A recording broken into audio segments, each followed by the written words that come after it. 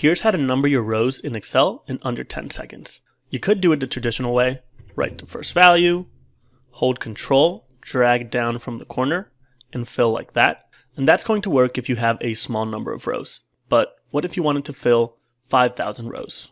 Well, let's delete these values, select the first one, and in the Home tab, go to Fill, Series. We want to fill the series in columns, step value of 1, stop value 5,000, press Enter, and there we go. Now, if you have Excel 365, you could use the new sequence function, specify the number of rows, press enter, and that'll do it as well.